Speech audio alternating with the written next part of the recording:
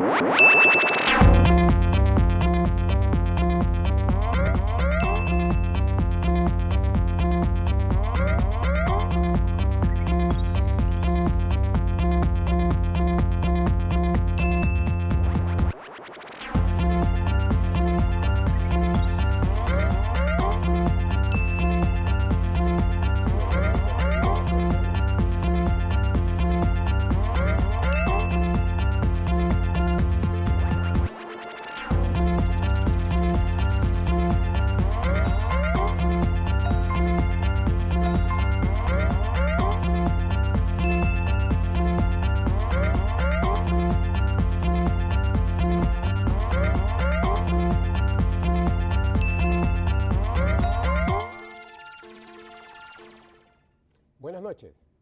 bienvenidos. Gracias por acompañarnos a este primer webinar del año organizado por Centrum Online. Ah, es para nosotros muy grato recibir a toda la comunidad Centrum en particular y a toda la comunidad interesada en estos conceptos tan interesantes de lo que es liderazgo y de lo que es cultura, sobre todo en momentos como los actuales en que a nivel mundial y nacional parece ser que hay que repasar algunos de esos conceptos. Comencemos entonces con el tema de liderazgo, veamos. Les prometo hacer una definición de liderazgo que nos va a ayudar probablemente a entender mejor por qué faltan líderes en algunos ámbitos nacionales y mundiales. Y liderazgo, vamos a ver también lo que es cultura, cómo la cultura, qué relación tiene la cultura organizacional con el liderazgo. Y sobre todo vamos a ver el tema de personas, porque al final con eso estamos tratando, estamos tratando con personas. Muy bien. Entonces, el liderazgo es un proceso. El liderazgo es un proceso. Y es interesante verlo, el liderazgo, y no el líder o la líder. Lo importante es entender el liderazgo. Quien logra generar liderazgo es líder o es, es una líder o es un líder. No es que la persona sea un líder per se. Si no hay liderazgo, no hay líder. Bien, este liderazgo consiste en influenciar en las personas, influenciar en las personas es influenciar en las personas, y eh, destaquémoslo aquí también, influenciar en las personas, ¿para qué? Para que las personas cambien sus comportamientos. Si no hay un cambio de comportamientos, no ha habido liderazgo para cambiar comportamientos, ¿ok? Para cambiar comportamientos. Entonces, el liderazgo es un proceso por el cual el líder, la líder, influencia en las personas para cambiar sus comportamientos. En este proceso, este proceso interesante, en este proceso es un proceso de cinco etapas. No lo vamos a profundizar, pero vamos a mencionarlo. Primer proceso, primer eh, elemento de este proceso. El líder o la líder identifica necesidades, identifica necesidades. Identifica qué necesidad tiene este grupo, qué necesidad tiene esta comunidad, necesidad que muchas veces no lo ha considerado prioritario, pero en la sapiencia, en, la visión de largo plazo del líder o la líder, considera que es importante. Identifica una necesidad, Luego, convence a este grupo que esa necesidad que ha identificado es prioritaria y que se le debe prestar atención y que juntos, que juntos pueden resolverla. Entonces, viene luego crear identidad social. Crear identidad social significa formar equipo, unir a las personas y que todos miren en la misma dirección. A continuación, cuando las personas están convencidas que hay que hacer algo para lograr, para cambiar esa situación actual y lograr porque ya se creó identidad social, viene el presentar una visión irresistible, una visión motivante, una visión carismática sobre cómo va a ser ese futuro cuando esa necesidad esté resuelta. A continuación viene un paso que, muchas veces queda de lado, que es plantear estrategias realistas. ¿Cómo vamos a lograr esa visión? Estrategias realistas de largo plazo, estrategia que tenga en cuenta factores éticos, etc. Para finalmente dirigir a este grupo y sobre todo obtener resultados. Si el liderazgo no obtiene resultados en determinado momento, entonces no ha habido liderazgo realmente. Pero lo más importante, esto es en un proceso de continuo crecimiento de qué? Crecimiento de confianza. Y esto diferencia a un líder, a una líder de un caudillo, lo diferencia de un empresario exitoso, lo diferencia de un buen jefe, lo diferencia de un buen gerente. Entonces, mi propuesta es que el proceso de liderazgo implica que la gente confía en esta persona, que se siente optimista, se siente ah, eh, impulsada, se siente animada cuando ve a esta persona que actúa como líder o lideresa, ¿verdad? Bien, entonces ese es en cuanto al liderazgo como proceso, influencia en las personas para cambiar comportamientos. Estos comportamientos, estos comportamientos en particular, tienen una cierta configuración. ¿Por qué? Si esto lo vemos como un témpano, como un témpano flotando en el agua, los comportamientos tienen su origen, como sabemos, en la personalidad. Son factores, los factores personales, ¿no? Personalidad. Entonces, si el líder quiere, a través del liderazgo, cambiar los comportamientos de la persona, tendrá que entender en qué se basan estos comportamientos. Personalidad, luego valores, valores, luego actitudes, para lograr llegar a una cierta motivación para cambiar. Y en esto influye también la percepción que tengan de la situación, la percepción. ¿Ok? Entonces, el liderazgo que existe un proceso de actuar sobre estos factores personales para cambiar los comportamientos. Pero ¿qué cosa es cultura?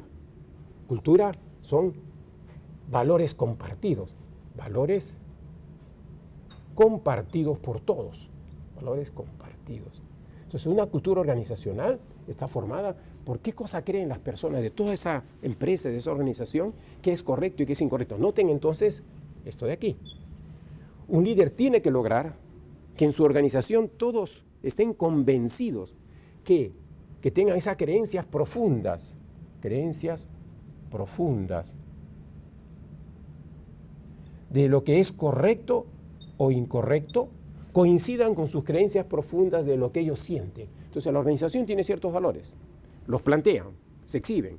La alta gerencia y todos los que conducen personas tienen que decir esto es lo que es correcto o incorrecto hacer.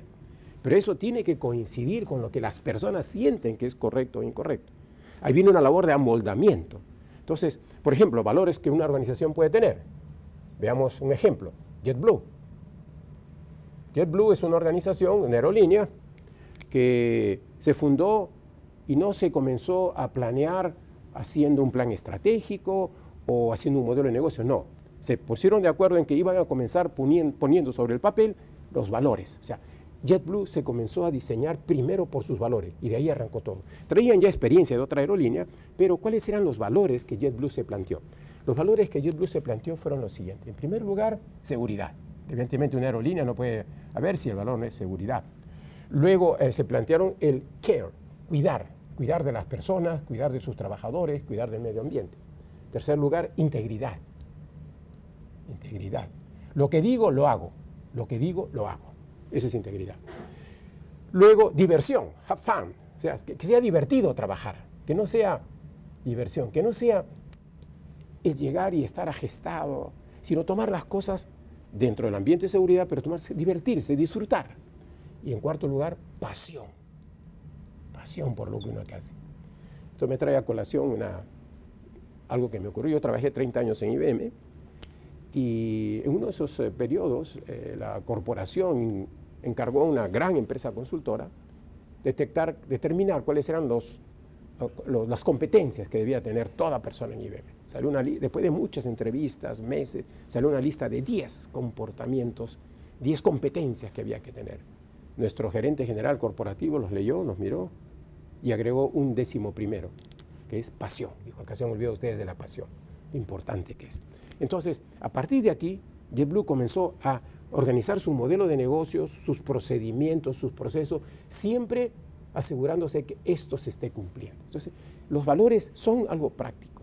Y además JetBlue estableció, ahora que digo práctico, cuáles eran los comportamientos específicos que tienen que ver con seguridad, con cuidar, qué significa integridad. No basta ponerlo, no basta ponerlo, hay que explicarlo con ejemplos, con, con eh, con, llevándolo a la práctica, diciendo qué significa este acto es seguro, no es seguro, este acto es de integridad o no. Quiero mostrarles ahora de otra organización, voy a poner acá, no voy a poner su nombre todavía, cuyos valores fueron integridad, a comunicaciones, excelencia, en inglés, integridad, comunicaciones, excelencia y eh, respeto, respeto, respeto, respeto. Interesante, ¿no? Como valores de una organización, ser íntegros, comunicar, la comunicación es un proceso muy importante para transmitir los valores compartidos, excelencia en todo lo que se hace y respeto. ¿Saben qué organización fue esta? Enron.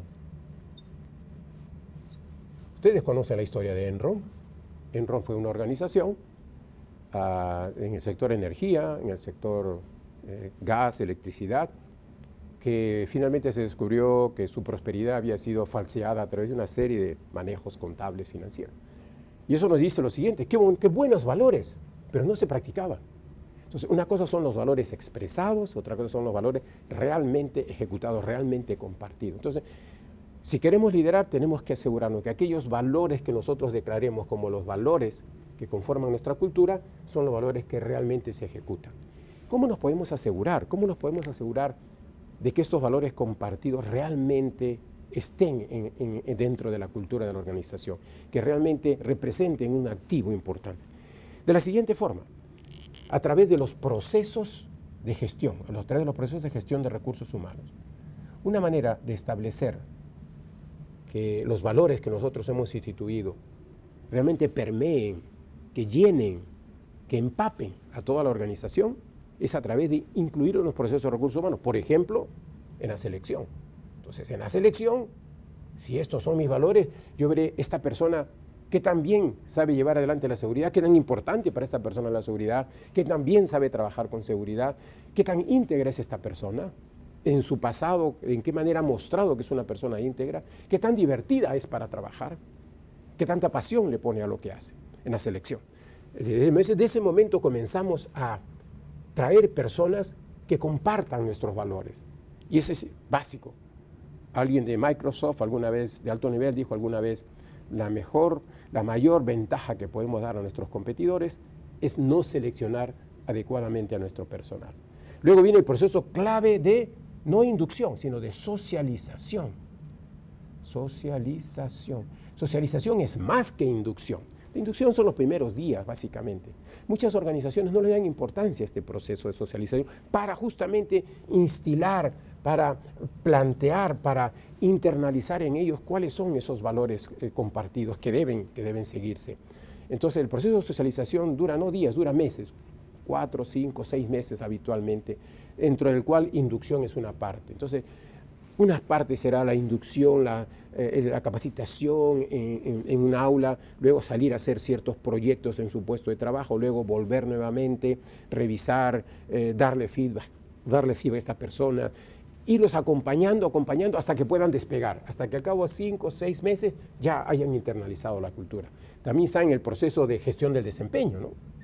¿Qué cosa voy a evaluar? Entonces yo evaluaré personas que también han mostrado que han tenido resultados, pero a través de buenas prácticas de seguridad, que han tenido siempre eh, eh, el tino de cuidar a todos los involucrados, que se han comportado íntegramente, que lo han hecho divertido ese proceso y además que lo han hecho con pasión. Entonces, en el proceso de desempeño evaluaré y premiaré, reconoceré aquellos elementos que conforman nuestro, nuestro conjunto de valores compartido, nuestras creencias profundas de que hay formas correctas e incorrectas de hacer las cosas. Igualmente en el tema de compensaciones, tema de compensaciones y así sucesivamente. Entonces, la manera de poder nosotros ah, interiorizar la cultura es, entre otros, a través de los procesos de recursos humanos.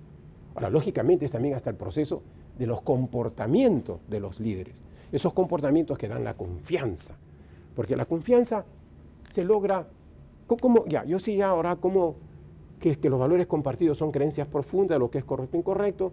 La organización debe tener un conjunto de valores muy bien discutidos, consensuados, pero sobre todo instituidos por los líderes. Sé que mis comportamientos deben, ser deben tener concordancia, mis valores, los valores de los trabajadores con los valores de la organización. Ahora, dentro de esto, los líderes tienen que mostrar con el ejemplo. Walk the talk. Lo que dices, hazlo. Este proceso de confianza ¿Cómo se logra? El proceso de confianza se logra a través de varios eh, destrezas, capacidades que tiene que desarrollar el, quien quiera liderar. En primer lugar, ya hemos dicho, integridad. Un líder tiene que ser íntegro. Lo que dice, lo hace. Un líder tiene que ser leal. O sea, el líder o la líder debe dar esa imagen. Yo lo sigo, la sigo, porque estoy convencido que si hay que sacrificarse por el equipo, lo va a hacer. Es como se dice que los marines en los Estados Unidos, eh, o en las Fuerzas Armadas en general, el jefe come al final. El jefe come al final. Si no, hay, si no alcanza la comida, él se quedará sin comida. Pero su equipo es el primero que come. Eso es ser leal al equipo. Integridad, eh, ser leal, ser confiable, en el sentido de que, perdón, confiable o ser predecible, pongamos para no repetir la palabra, ser predecible. Que si yo ser reconocido porque hago bien las cosas, ¿no? entrégaselo a él, él lo va a hacer, te apuesto, él lo va a hacer. O se lo entregues a él porque estoy seguro que no lo va a hacer, te predigo que no lo va a hacer. Entonces, ser íntegro, ser leal, confiable, ser competente, ser competente, saber hacer las cosas, saber hacer las cosas, prepararme para que si me dan un encargo, si confían en mí para hacer algo, hacerlo y hacerlo bien, hacerlo con seguridad, con cuidado, íntegro, divirtiéndome y poniéndole gran pasión. Y usando como ejemplo los valores de JetBlue. Y el de transparencia, transparencia. Yo no escondo cosas, no escondo cosas, las muestro. No guardo información, no tengo segundas intenciones. Entonces, ¿qué tenemos? Tenemos que el liderazgo como proceso es influenciar en las personas para que cambien sus comportamientos. La cultura dentro de ellos se presenta entonces como un medio que puede usar el, líder o que debe usar el, el líder o la líder para condicionar condicionar los comportamientos de las personas, para preparar el ambiente social para que las personas se enrumben a cambiar esos comportamientos en la dirección estipulada por los líderes y ah, sustentados en los valores corporativos.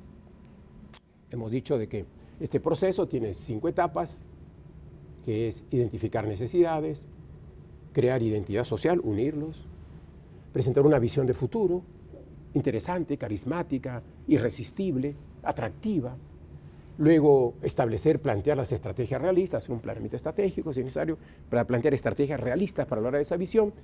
Y ya en el campo, dirigir y obtener resultados. En un proceso de creciente confianza.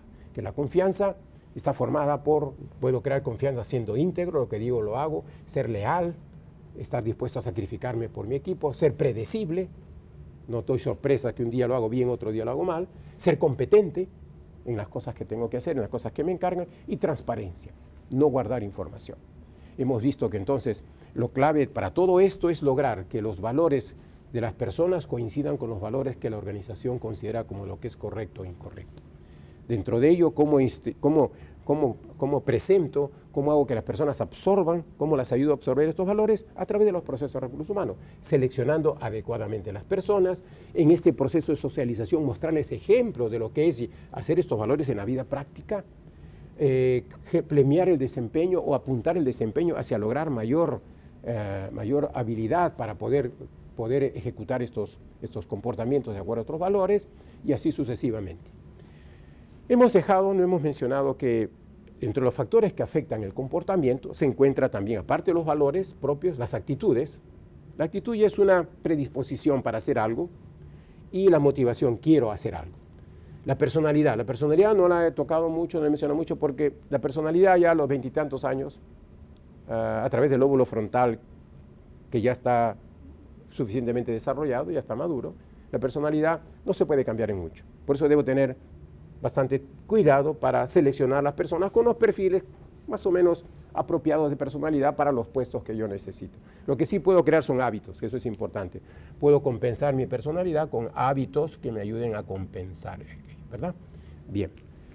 Entonces, ¿qué es la cultura? La cultura, al ser los valores compartidos que la organización quiere que todos ah, lo tengan como guía para lo que es correcto o incorrecto, la cultura es ese, ese gran paraguas de qué cosa es correcto, qué es incorrecto hacer, que todos deben compartirlo y que tiene que coincidir con los valores de las personas. Una persona, eh, si encuentra una persona que sus valores no coinciden con los valores de la organización, está en la compañía equivocada.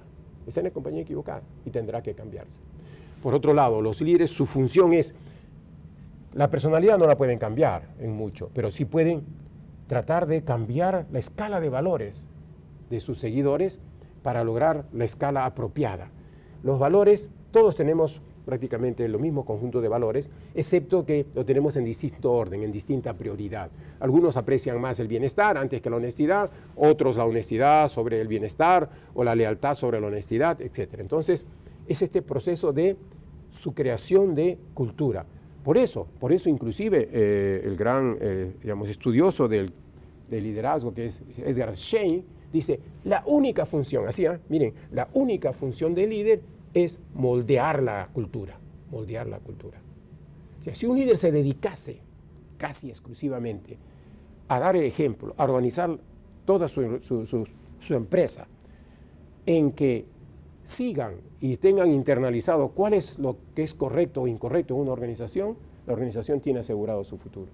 Si un país tiene personas que transmiten estos son los comportamientos que son correctos, estos son los incorrectos, y a través de todos los procesos de interacción con el ciudadano le muestra que eso es verdad y que es sincero en eso y que premia a los que lo siguen y de alguna manera eh, corrige o castiga a los que no lo siguen, estará creando una cultura. Entonces la función del liderazgo a través del líder o la lideresa es moldear la cultura. Es la función de todo líder, ya sea en una organización, en una región, en un país. Alguien dijo también, más de PRI, dijo algo parecido. Dijo, la función del liderazgo es moldear la realidad. En el fondo es lo mismo. ¿Por qué? Porque si a mí me dicen que es correcto o es incorrecto, me están diciendo cómo comportarme en la realidad. Si alguien me dice, mira, ese señor que viene ahí es un proveedor, tú tienes que tratarlo con mucha atención, con mucho cariño, con mucha integridad, eh, transparencia, porque él es nuestro socio estratégico. Hay que trabajar en conjunto. Entonces me está poniendo una lente, que yo veo que esa persona que viene es una persona que tengo que apoyar. Pero si alguien me dice, y he tenido en mi experiencia como consultor, he visto alguna que otra organización que dice, no, el proveedor es alguien que hay que sacarle provecho, hay que exprimirlo. Mira, ¿sabes qué? Primero, atácalo. Recházale todo. Dile que no, que no, que no, que su producto no sirve. Cuando ya lo veas todo abatido, y es verdad lo que les cuento, ¿eh? cuando por escrito en el manual inclusive, cuando esté abatido, ahí le comienzas a pedir concesión. Entonces, le está poniendo, a través de estos valores compartidos, una lente que le dice, esa persona que venía ahí, tienes que aprovecharte de ella. Entonces, por eso es lo mismo, moldear la cultura o moldear la realidad. Porque la cultura son los valores que yo comparto, que me dicen lo que es correcto o incorrecto, y de esa manera yo interpreto la realidad. Bien. Ahora, medios para saber cómo es mi cultura. Hay distintas formas de, medir la cultura, ¿no? Uno de ellos es, por ejemplo, hay una encuesta, el OCAI, se llama el OCAI, Organizational Cultural, OCAI, Instrument, Organizational Cultural Assessment Instrument, que me dice, las culturas podemos verlas como que tienen cuatro componentes, cuatro componentes, más o menos de uno que de otro. Hay un componente que podemos llamar componente clan. ¿Qué significa el componente clan? El componente clan significa que hay culturas donde la parte de atención a las personas, a su desarrollo, a su crecimiento, es bastante importante, o poco importante, pero es un componente que tengo que analizar. En mi empresa me preguntaría, eh, ¿qué tanto de clan tenemos? ¿Poco? ¿Mediano? ¿Mucho? Luego, existe el componente adocracia, que sería cuánto, cuánto de emprendedor tiene mi empresa, cuánto de innovadora tiene mi empresa. Mucho, poco. Hay otro componente que es el componente mercado. ¿Qué tan orientado a ganar clientes, a crecer en el mercado? ¿Qué tan orientado externamente, al ambiente externo está mi organización? ¿Qué tan rígida, controlista, estructurada es en salir al mercado. Es una, es una ah, cultura, un componente tipo mercado y un componente que llamamos jerarquía, que es qué tan burocratizada está mi organización. La burocracia no es mala, el exceso de burocracia es lo malo. O sea, qué tanto en mi organización se consideran las normas, los procesos, el MOF, el ROF, el TOF, el COF, todos esos que hay que seguir, los formatos que hay que llenar. Entonces, toda cultura tiene un poco de cada una de ellas. ¿Cuánto debe tener? Eso depende del el proceso de liderazgo. Los líderes de esa organización, cómo quieren que sea la organización. Y eso se va a reflejar también a través de sus valores. Pero debe el líder transmitir cuánto quiere de cada una de ellas, cómo quiere posicionarse, que los valores compartidos que trata de difundir y que difunde a través de los procesos de recursos humanos sean coherentes y premiar los comportamientos que vayan en esa dirección, así como corregir, si es necesario, castigar aquellos comportamientos que no lo son. Entonces, el liderazgo necesariamente tiene que ver con la cultura. Liderazgo cambia comportamiento, las personas para comportarse se sustentan en sus valores. La cultura son los valores compartidos, lo que todo el grupo va a seguir. Entonces, tiene que darle atención a la cultura, ver qué tipo de cultura quiere definir, ver cuáles son los valores que va a instituir, cómo los procesos de recursos humanos van a, asegurarnos que esos valores se nos interioricen y de esa manera poder llegar a ganarse la confianza y obtener resultados.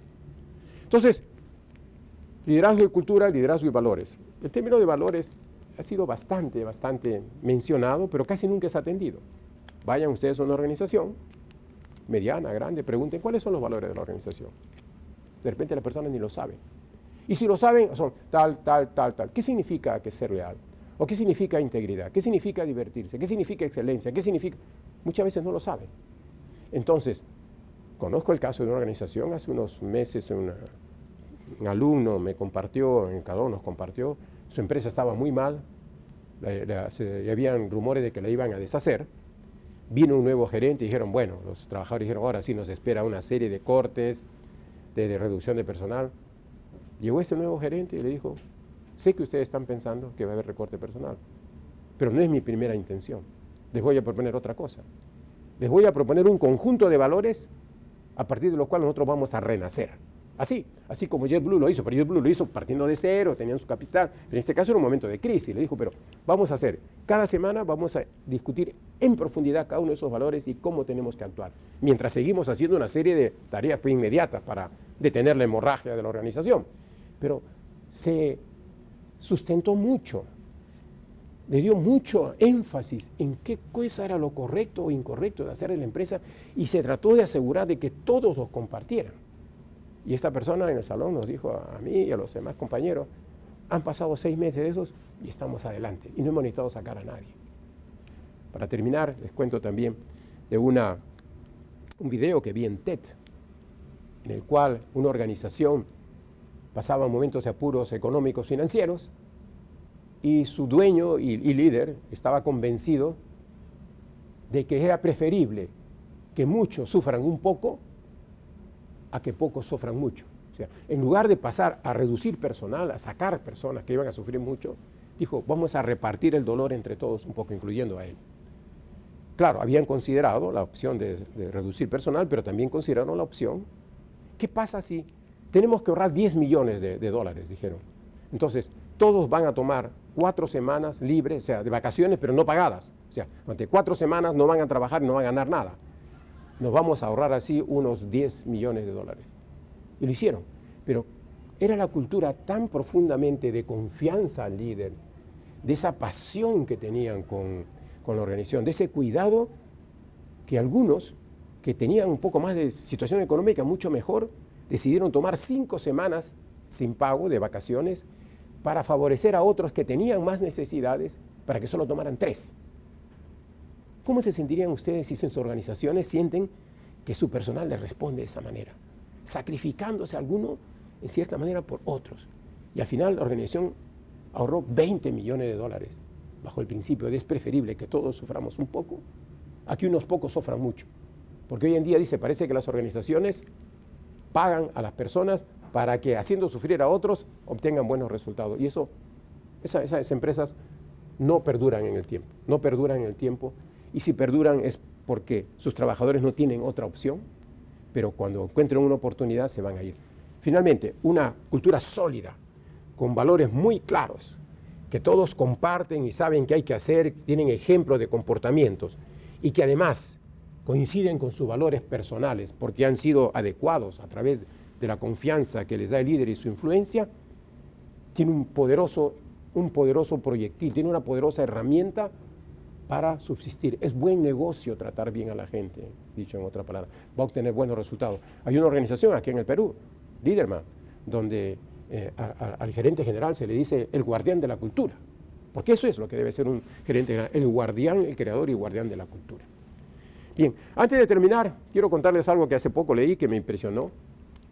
Ah, se supone que un sabio, sabio en el sentido de sabiduría espiritual, alguien le dijo, ah, sabio, yo quiero felicidad. Entonces esperaba que le dijeran cómo lograrlo. Entonces este sabio le dice, en principio, cuando dices yo, hay egoísmo, egocentrismo. Eso debe desaparecer. Segundo lugar, el quiero muestra deseo, apetencia de algo. Y eso tampoco es bueno. Suprime tu yo, suprime te quiero y vas a lograr la felicidad. Creo que es algo para pensarlo. Algo de eso debiéramos hacer alrededor de lo que es liderazgo y cultura para mostrar. Suprime el levantar la voz, suprime el amenazar a la gente, suprime el aprovechar de tus trabajadores, cree en ellos, potencialos, ayúdalos a desarrollar y a través de la cultura obtendrás el liderazgo que espera que te llevará a los mejores resultados.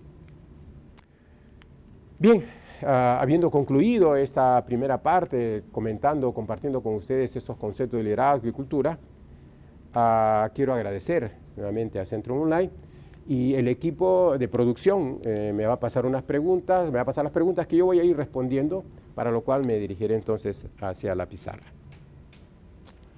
Como ustedes saben, estamos transmitiendo a través de dos canales. Tenemos el en vivo PUC, en el cual presentamos todos estos webinars y otros, eh, otros servicios, pero también tenemos nuestro Facebook, el Facebook de Centro Católica, espero que lo visiten con frecuencia, siempre hay novedades para ustedes, siempre hay un aprendizaje. Recuerden, uno nunca es un exalumno de Centro Católica, uno es un alumni, alumni, en el sentido que siempre estamos en ese contacto provechoso de aprender de ustedes y ustedes aprender también de, de, Centro Católica. Bien, entonces voy a responder algunas preguntas eh, que el equipo me lo, va, me lo va a plantear, por favor. Ah, veamos que comiencen las primeras preguntas para, con todo gusto, tratar de respondérselas. Ah, ¿Estoy de acuerdo? Estoy de acuerdo, muy bueno, excelente, estoy de acuerdo, ahí no, no me cabe duda. bueno, no, este, genial, ok. Bien, veremos algunas preguntas. Ah, las preguntas que uno generalmente se hace es, ¿los valores es algo tan etéreo?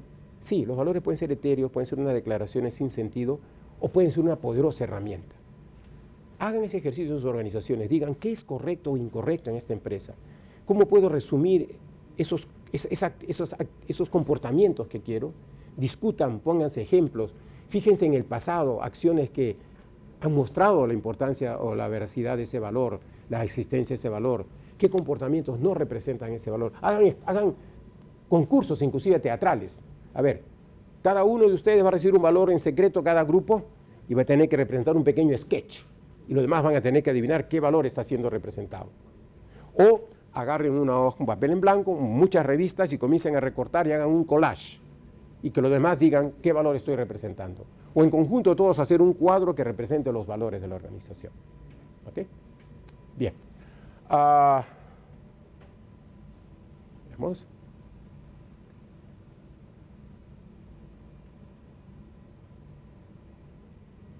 Le voy a subir la nota a este alumno porque me está ayudando.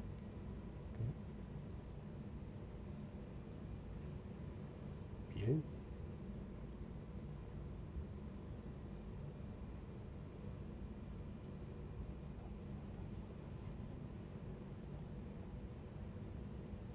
Listo. Primera pregunta.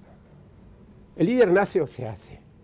Es una pregunta bastante habitual. A ver, en mi opinión, hay personas, hay personas que tienen todas las características que los hace que fácilmente puedan mm, e, entender cuáles son las, las necesidades de la gente, que les permite saber cómo llegar a ellas, que les permite compartirse de una manera que genera confianza.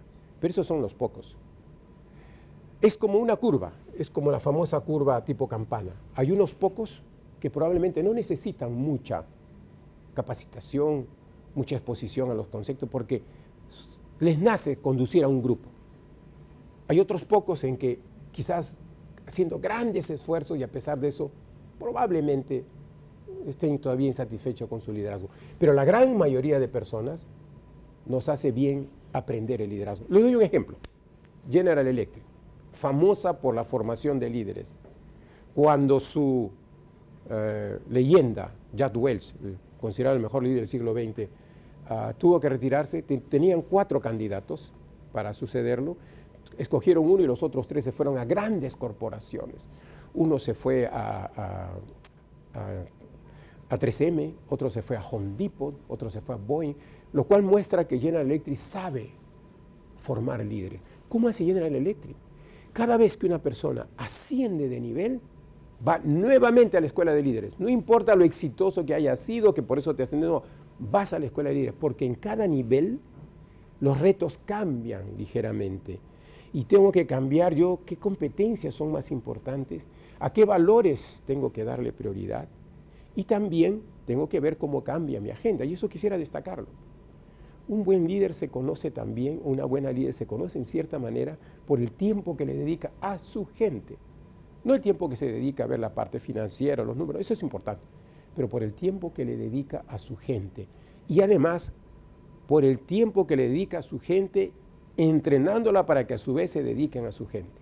Entonces, el ejemplo General Electric, que para cualquier nivel que yo voy subiendo, vuelvo a la escuela de líderes, me hace pensar en lo profundo que para mucha gente, para la mayor parte de la gente, lo verdadero es que el líder se hace. No se necesita una super persona, se necesita alguien, como dijo Max de Pri también. El liderazgo comienza moldeando la realidad, termina dando las gracias y en todo ese proceso simplemente somos servidores. Entonces, para ser servidor no se necesita una super persona, simplemente la pasión de aportar la pasión de que sus trabajadores sean cada vez mejores trabajadores y también mejores personas. Esa es mi, opinión. Ah, ¿Existe una diferencia entre los valores y las competencias? Ah, sí, de hecho, alguna vez escuché que independientemente del concepto, mientras sea confortablemente visible, aporta a la cultura. Bien, sí, valores son creencias, creencias profundas de lo que es correcto e incorrecto. Yo no tengo que hacer nada, simplemente lo creo. Claro, mis comportamientos lo van a hacer, porque si yo creo que el trabajo en equipo es, es lo correcto, cada vez que se ofrezca la situación voy a trabajar en equipo.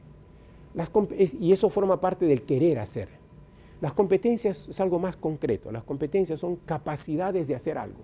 Capacidad de resolver un conflicto, capacidad de hacer una venta, capacidad de hacer un buen plan estratégico. Las competencias son capacidades, están formadas por conocimientos, están formadas por habilidades están formadas por actitudes. Tres cosas bastante diferentes a lo que son valores. Los valores son más internos, lo que yo creo. Las competencias lo que yo hago. Esa sería mi explicación. Ah, claro, ambas, de cierta manera, aportan la cultura, pero los valores aportan más, porque los valores es lo que creo que es correcto, incorrecto.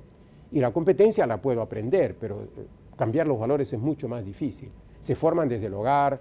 Y a propósito de eso, yo creo que en los países debiéramos desde el jardín, desde el nido, kindergarten, primero, segundo, impartir valores, los valores que el líder o la líder nacional quiera que sean lo que rija nuestros comportamientos. Yo me imagino, por ejemplo, los niñitos con unas cajitas de, cartón simulando carritos y pintado con tiza en el patio comienzan como que están dos carros y se encuentran en un cruce. Y la profesora, el profesor le dice, mira, primero el que está hacia aquí tiene que dejarlo pasar, o el que está más rápido. que está... Entonces los niños comienzan a aprender, miren, acá hay una luz roja, ¿qué se hace en la luz roja? Se para, mis, bien. ¿Hasta cuándo temprano? Hasta que sea verde, mis. Y si hay una persona cruzando, se le espera, mis. Cuando ese niño, esa niña, esté en el carro con sus padres y vea que el padre, puede ser, se pasa la luz roja, le dirá, papi, la Miss dice que no se debe pasar a la luz roja porque tal, y además nos ha pedido que todos los lunes reportemos a los papás. Esa presión social en algo va a ayudar, ¿verdad? Entonces desde ahí tenemos que comenzar, además de otras medidas ya para los adultos, ¿no? Entonces, eh, como parte de un equipo puedo enfocar mi liderazgo a un jefe que no es líder para que él pueda cambiar su gestión con las personas de su equipo que andan muy descontentas. A ver, liderazgo a un jefe que no es líder para que él pueda cambiar su gestión. Estoy asumiendo que puede ser que mi jefe no está haciendo, ah, no está creando un ambiente tal que mis compañeros, y por lo cual mis compañeros están descontentos. O sea, ¿cómo es, la interpretación más difícil. ¿ah? ¿Cómo hago para que mi jefe sea un líder. En ese sentido es difícil, pero lo que yo puedo hacer, lograr es primero acercarme al jefe y decirle, jefe, eh, yo, estoy acá en la empresa porque necesito lógicamente trabajo, tengo planes, tengo familia, pero dentro de eso yo creo que mi misión es hacer que usted sea exitoso. Si usted es exitoso, yo soy exitoso, nosotros somos exitosos. Se puede plantear hasta la figura, es, yo quisiera reemplazarlo a usted. Para reemplazarlo a usted, usted tiene que ascender. Yo quiero ayudarlo. ¿En qué puedo ayudarlo? Yo creo que puedo ayudarlo en tal cosa, tal cosa, pero usted dígame, dentro de lo que son los objetivos de la organización, yo quiero darle prioridad a aquello que a usted le pueda ayudar. Internamente yo debo analizar cuáles son las fortalezas y debilidades de esta persona como líder para apoyarlo en sus debilidades y recalcarle sus fortalezas. En otras palabras, es posible influenciar en el nivel superior a través del liderazgo. Pero lo mejor es cuando viene desde arriba. Lo que yo puedo hacer es hablar con mi jefe, comentar, decirle, creo que obtendríamos mejores resultados si hiciéramos de esta manera, de otra forma. Primero tengo que ganarme su confianza, sabiendo que yo estoy trabajando por el bienestar, porque logre sus objetivos, porque logre sus metas, por entender sus presiones, las presiones que él tiene. Y una vez que yo me logre ganar esa confianza, decirle, ¿sabes qué? Creo que el equipo trabajaría mejor si lo tratáramos así, si los escucháramos, si fuésemos flexibles, si los capacitáramos, creo que esa sería la mejor manera de influenciar en alguien que está en un nivel superior y que no está mostrando liderazgo. Primero, ganarme su confianza con hechos, saber que lo estoy apoyando y luego mostrarle de que eso puede ser más profundo, puede ser más intenso si es que cambia sus comportamientos. ¿Hasta dónde puede moldear el ir a sus colaboradores para beneficiar a la empresa sin transgredir su personalidad y valores propios? Ok, ahí viene el tema.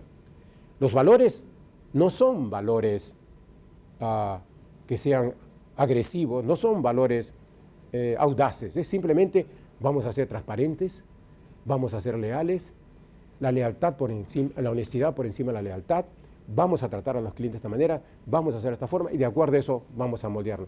Si una persona siente que los valores que el jefe le pone no son los que acepta, está en la compañía equivocada. Y el jefe tendría que decirle, mire, con mucha frecuencia y con gran intensidad he dicho de que hemos conversado que primero es el cliente, después nuestra empresa, después nuestro departamento. Con mucha frecuencia he mostrado que la mejor manera de llevar adelante este valor es resolviendo los problemas del cliente, aunque eso implique más tiempo de nuestra parte. Veo que constantemente no cumples con eso. Quisiera saber por qué. y tratar de ver si está concientizado o no. Si me dice, no, mí me parece importante, bueno, eso está trayendo consecuencias perjudiciales para la organización y creo que o cambia los comportamientos o, como te digo, tendrías que buscar otra organización. Aquí queremos llevar adelante esto. Entonces, no sé si pueda llegar un momento en que puedan chocar dos valores. Si yo le explico, si yo doy ejemplos, si yo digo por qué eso es bueno para la organización y para las personas, y el seguidor no está de acuerdo, tendría que cambiarse de empresa, simplemente. Nadie lo va a forzar, pero tendría que cambiarse de empresa. Entonces, Tampoco puedo yo forzar un comportamiento. Seamos agresivos. Nuestro valor es la agresividad. Todos tienen que ser agresivos. Usted no salude al cliente. Usted diga. Eso sí sería. Sería poco probable que alguien que quiere liderar imponga ese tipo de comportamientos. Pero si lo fuera, estoy, me cambio de compañía. O sea, hago lo posible, junto un dinerito, busco a mis amigos y me cambio de empresa. Pero entonces el líder tiene que mostrar cuáles son los valores, explicar por qué es lo mejor cuáles son los comportamientos que se deben y escuchar a lo demás. Escuchar y de acuerdo a eso llegar a ese consenso de que es bueno seguir esos valores. Con el tiempo de repente la organización puede ir flexibilizando esos valores, siempre en sentido positivo, pero si hubiera al final de cuentas un choque, estoy en una compañía donde no debiera estar. ¿Cuál es la peor falla que puede tener un líder? Manipular. Ahora, cuando digo líder, claro, a, lo que yo mencioné anteriormente le faltaba un detalle muy importante. No he hablado de los valores morales, no he hablado de que estos eh, objetivos de liderazgo, esa visión de futuro sea moral, que los medios sean morales, que los resultados sean morales. Cuando este proceso de liderazgo es para bien, para construir, para crecer, se le llama liderazgo auténtico. Lo pueden usar también los dictadores o los caudillos o personas que se hacen ver como que son líderes nos engatusan, nos engañan, creemos en ellos, confiamos y al final nos damos cuenta que hemos sido manipulados. Entonces, lo peor falla que puede tener alguien que pretende liderar es manipular a la gente, no decirle la verdad, no ser transparente. Eso ya es manipulación, ya no sería, sería un liderazgo destructivo, un liderazgo no auténtico, un falso liderazgo. Si en una empresa hay personas que tardan en adaptarse a la cultura, ¿es preferible continuar o es preferible hacer cambio ese personal? En ese video que les mencioné hay un detalle bien interesante también. Dice, la empresa debiera ser como una familia. Cuando en tu familia uno de tus niños, uno de tus hijos o tu sobrino no rinde en el colegio, ¿tú lo botas de la casa? Tú dices, ándate a esta casa, ¿no? No, uno trata de ayudarlo a desarrollarse. Entonces, igual podríamos actuar, como haciendo una analogía, en empresa. Si alguien no está rindiendo, yo debo apoyarlo, hacer todo lo posible por entenderlo, apoyarlo, ver si es un tema de personalidad, de capacitación, y de esa manera poder hacer que sus comportamientos mejoren. Pero hay también un límite, evidentemente. Si yo veo que he hecho todo lo razonablemente posible, que lo he escuchado, que ha presentado un plan razonable y que no lo está ejecutando, que no lo está haciendo, vuelvo a incrementar, vuelvo a hacer y llega un momento en que tengo que decirle, lamentablemente, no, es, no está rindiendo. ¿Por qué? Porque tenemos que ver por los demás, por los que están en la empresa. Esto no es que el hueco del, del bote está en tu lado nada más, el hueco del bote perjudica a todos. Entonces hay un límite no podría decir un número, pero tengo que ver si razonablemente no lo quiere cumplir, tendré que ver la manera de, de acuerdo a lo que la ley me permite, etcétera, prescindir de esa persona. Es posible que la persona tenga algún disturbio de personalidad, algún aspecto que ya no lo pueda eh, yo resolver, en cuyo caso habrá que aconsejarlo que busque una ayuda profesional. Pero a la pregunta que es, ah, ¿tardan en adaptarse a la cultura? De repente tardan en adaptarse porque no estamos haciendo lo apropiado. ¿eh? Ah, me contaron de que en Southwest Airlines, no sé si será cierto, no lo he comprobado del todo, que cuando una persona hay que despedirla, se le despide a la persona y a su jefe. Repito, cuando hay que despedir a un empleado, se le despide al empleado y a su jefe. ¿En qué se basa eso? En que el jefe, como líder, ha participado en el diseño del puesto. ¿Qué característica debe tener el puesto? El líder, el jefe ha participado en la selección de esta persona que va a trabajar con él. El jefe ha participado en preparar, porque debe participar, su plan de desarrollo. El jefe ha visto el tema de gestión del desempeño. El jefe ha administrado las remuneraciones. El jefe le ha dado feedback. Y después de dos años me vas a decir que esta persona no sirve, probablemente tú has fallado. Entonces, cuando se tiene en esta empresa, se supone que cuando se tiene que despedir a alguien, se despide a esta persona y a su jefe, si es que no hay algún otro motivo eh, fuera de control del jefe. ¿no? Ah, ¿Cómo mantener a los equipos motivados en épocas como esta recesión económica en los ingresos pueden verse afectados? Yo les decía, el líder detecta necesidades. Las necesidades tienen una jerarquía. Las necesidades de dinero, de ingresos, es la más importante, porque son las de necesidades de fisiológicas para comer, dormir, eh, seguridad, tener educación, plan, tener un, salud, poder curarse si es que uno se enferma. ¿Qué pasa si en la organización yo no le puedo dar lo suficiente para eso? Entonces, estas necesidades no son excluyentes. Entonces, si yo no tengo satisfechas todas mis necesidades básicas, que se hacen con dinero generalmente, no quiere decir que yo no toque las otras necesidades. Entonces, lo que yo puedo hacer es lo siguiente, si mira, a ver, en esta organización no podemos aumentarte el sueldo como quisiéramos, como de repente en el mercado se tiene le explico las razones, le explico las razones. Mira, por esto el mercado está así, los precios. Lo que sí yo te puedo dar es lo siguiente. Te puedo prometer que en los próximos dos años te voy a dar la oportunidad de desarrollarte, darte retos, que tú aprendas. Vas a aprender inglés básico, vas a aprender lo que es manejo logístico, o vas a aprender lo que es eh, eh, llevar estas finanzas, etc. Te vas a desarrollar. Si al cabo de dos años tú ves que nosotros no hemos podido satisfacer tus necesidades, con gran dolor en nuestro corazón, pero aceptaríamos que te fueras. Pero en esos dos años, fórjate una buena foja de servicios. esto es, utiliza de esta empresa algo más allá que el dinero simplemente. Utiliza las oportunidades de crecer, de saber trabajar en equipo, de saber liderar, de saber eh, eh, poder obtener, eh, obtener resultados, planificar, ejecutar. Esto es, a la pregunta concreta le diría, trataría de que la persona encuentre en el trabajo la satisfacción a otras necesidades que no serán más prioritarias, que, no serán tan mayormente más prioritarias que esta, pero que también le van a servir. Entonces, no todo es dinero. Evidentemente, si yo logro que la persona sea pagado de acuerdo a mercado, las otras necesidades van a hacerse muy importantes. Pero si no lo puedo hacer, por lo menos tengo que pensar, mientras vaya pensando cómo me equilibro a, los niveles de mercado, por lo menos ofrecerle a esta persona otro tipo de desarrollo que esta persona pueda, en ese sentido, pueda apreciar. ¿no?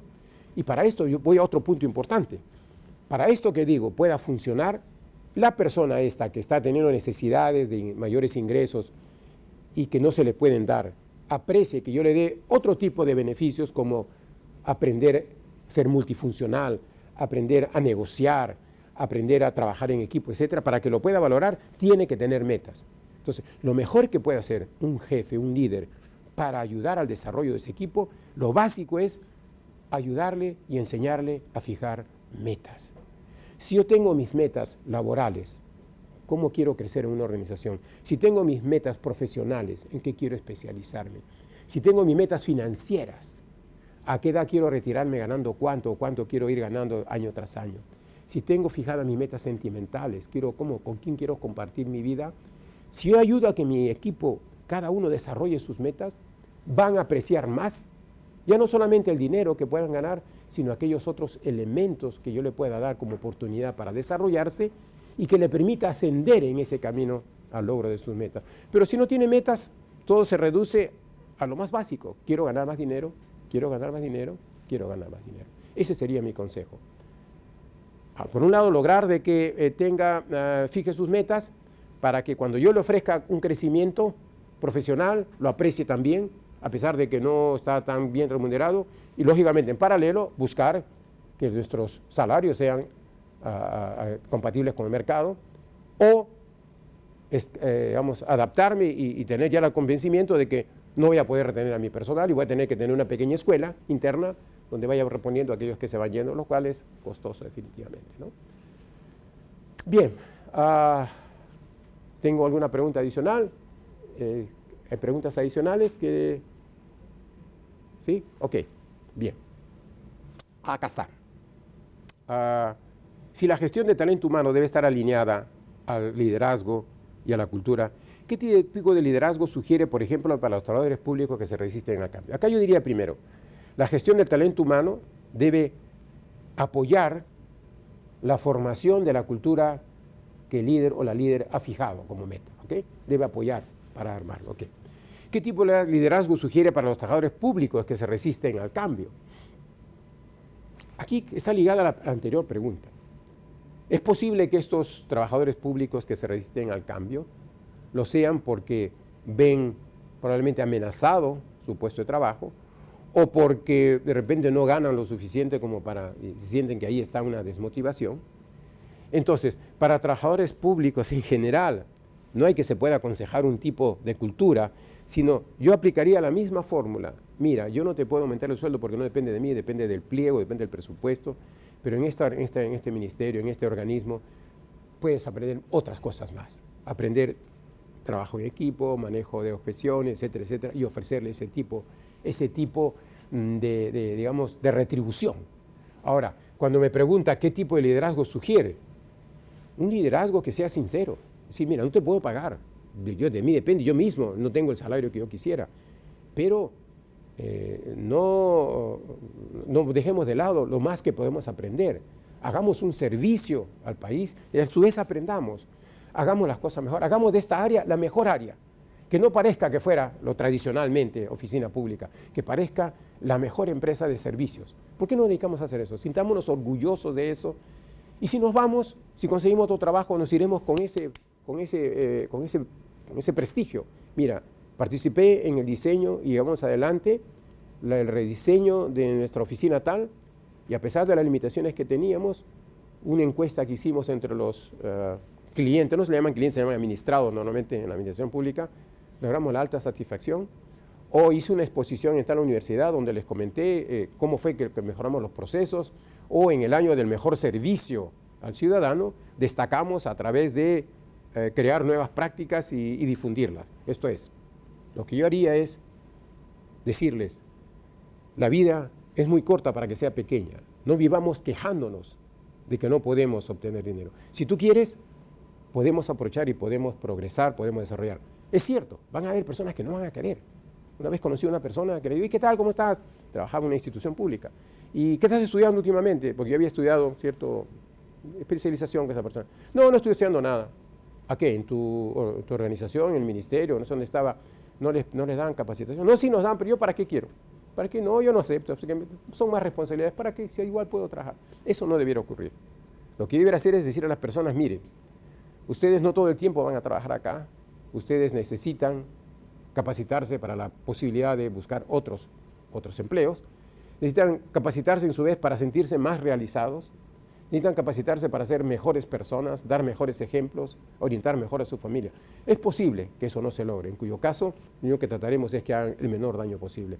Pero el liderazgo debiera ser el liderazgo básico, el liderazgo sincero de aprovecha y desarrollate. ¿En qué modo ve usted que las nuevas tecnologías afectarán al liderazgo y a los líderes? Ah, hay que saber manejarlas. Lo importante ahí es no perdamos el contacto personal. Que el WhatsApp, que el Facebook, en Brasil le llaman así Facebook, el WhatsApp, pues todo termina en I, suena muy lindo eso. Este, no dejemos que eso nos interponga una barrera. Principio, coloquen en su software un app que permite medir cuánto tiempo pierden estando en Facebook, no en el centro, en el centro católico sí deben entrar, pero pierden su tiempo en el Facebook, en el WhatsApp. O sea, reflexionen, aprovechen ese tiempo en algo mejor, prepárense, desarrollen. Entonces lo que haría es lo siguiente, las personas deben saber que somos, que interactuamos entre personas y que debemos privilegiar el trato entre personas. No nos dejemos llevar por el WhatsApp, por todos esos medios electrónicos, sino los problemas resolvámonos persona a persona. Recuerden, todo mensaje tiene tres componentes. Va en las palabras, en el tono de voz y en el lenguaje corporal. Cuando ustedes lanzan un WhatsApp, por más que usen emoji y todo eso, están solamente enviando palabras. No hay tono de voz, no hay lenguaje corporal. No se van a poder mostrar realmente lo que quieren saber. Les recomiendo un pequeño video que hay, Yo también te quiero, Yo TQ, donde se ve una situación bien interesante que les muestra cómo los resultados pueden cambiar cuando yo hablo versus cuando yo simplemente envío mensajes. No se confíen en los mensajes de texto. no pierdan la capacidad de interactuar, de mirar a la persona, de ver sus gestos, sentir su tono de voz. Una cosa es decir, ¿cómo se siente? Eh, eh, eh, ¿Cómo amaneció, señor García? Versus decir, ¿cómo? ¿Amaneció, señor García? ¿No? el tono de voz cambia totalmente el mensaje. Entonces, aprendamos a comunicarnos, a influir en las personas usando todos los medios que la comunicación nos permite y que está limitado a través de los medios tecnológicos. Acordemos algo primero, aunque sea por teléfono, en persona, y después mandemos el mensaje, el WhatsApp, lo que queramos.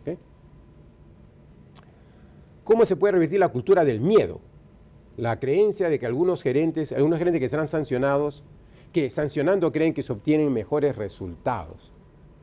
Ahí eso tiene que venir de arriba, tiene que venir de arriba, tiene que venir del jefe de ellos donde le diga de que lo primero que deben intentar es el desarrollo, que es buen negocio tratar bien a las personas. Hoy en día que queremos trabajos creativos, la creatividad no se incrementa cuando yo amenazo a las personas.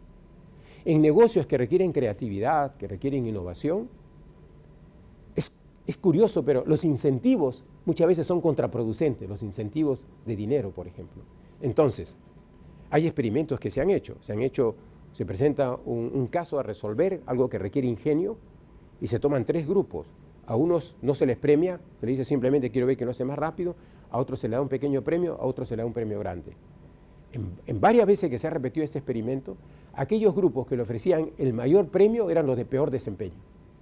Porque cuando yo me ofrecen un premio, yo tengo que ser creativo, estoy, no, no, no arriesgo, digo, ¿cómo hago? ¿Cómo hago? Va pasando el tiempo, tengo que hacerlo, el premio es grande. En cambio, si siempre dice, mira, quiero saber qué tan rápido se puede hacer.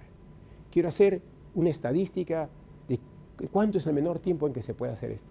Yo lo tomo como una diversión y lo llevo adelante. Entonces, aquellos gerentes, aquellos jefes que creen que es a través del, miedo, lo que necesitan normalmente es un coaching exterior, necesitan un jefe que les haga bien, o un trabajador que se, arriesgándose un poco, le diga, mira, jefe, yo sé que usted tiene esa forma de actuar, pero ¿sabe qué? Rendiríamos mejor si nos tratara como personas. trátenos como usted quisiera ser tratado, y no con ese carácter fuerte que usan como pretexto para descontrol de las emociones. No, lo que pasa es que soy de carácter fuerte. No, usted no es de carácter fuerte, usted es de carácter débil porque no sabe controlar sus emociones. Bien. Ya me ofusqué, por eso dice que ya debo terminar. No, lamentablemente ya se cumplió el tiempo. Espero que nos veamos en una próxima oportunidad. Nuestro agradecimiento a Centro Online, que nos permite llegar a ustedes con esta, de esta manera, y, gracias, realmente muchas gracias por darnos su retroalimentación sobre los temas y cómo tratamos. Gracias nuevamente y estamos viéndolo permanentemente. Muchas gracias.